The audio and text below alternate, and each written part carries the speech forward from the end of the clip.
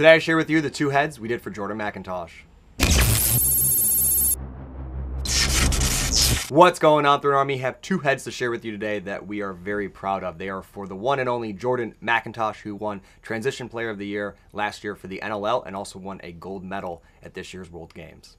We were approached by Under Armour and Mac to do two Minnesota Swarm heads for him to use for this upcoming NLL season, and one's a little more special and commemorates his gold medal win. Mac's first head was featured in our most recent throne room. If you haven't seen that, definitely check that out. It is an Under Armour Vital with a custom spec pocket with 15 mil white Throne mesh. We got yellow going all the way around with a white shooter in the throat and four white straights. This is an exact replica of his pocket. It's kind of similar to the boxer. It's a nice mid that's able to bag low and bag high, but the shooters are dropped and it's got a really really cool throat which is such a cheater throat and I love it. So the string actually comes into the bottom comes up around the side of the head and then in the throat which literally just lets the ball just get planted in there. And when he's going one-handed or, or dropping it into his chest the ball's not going to come out because the bag's nice and low with that nice soft shoot in the throat mixed with those crazy finishing side walls. Absolutely love the way he pulled that off and it has a gorgeous channel especially in the vital getting into the dye, we wanted to do a head for him to commemorate the uh, big Canadian gold medal, but also wanted to give him something um, Swarm themed because, you know, he is just an absolute animal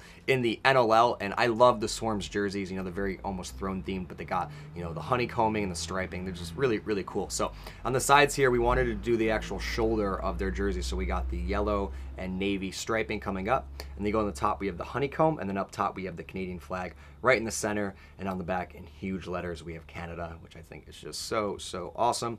And then down here in the throat, we have gold 2014. And then we got Mac 24. So it's when he won the gold with a little maple leaf. And then we have Mac, his nickname, and number 24. And then a Throne ball stop put right in there. As much as I love the dye on the other one, this one just does it for me. It's absolutely perfect. Um, I really like how he brought the white into it. So it's white to athletic gold to navy fade. And then up top, we got this Under Armour Swarm Wu-Tang Clan um, dye that's just too sick. So we got the Under Armour logo over here, and then this honeycomb pattern going across the top with kind of missing parts in it. Absolutely love it. Super, super clean. And then the navy mesh goes right into the navy fade of the head. Absolutely perfect. And you got a throw and ball stop down here.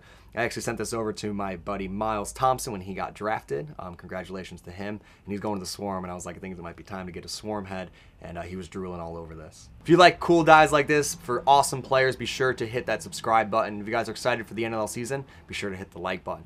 How about in the comments below, let me know who you think I should hook up with an awesome Under Armour head for this coming NLL season. That is everything. I hope you enjoyed it, and I'll see you on the field.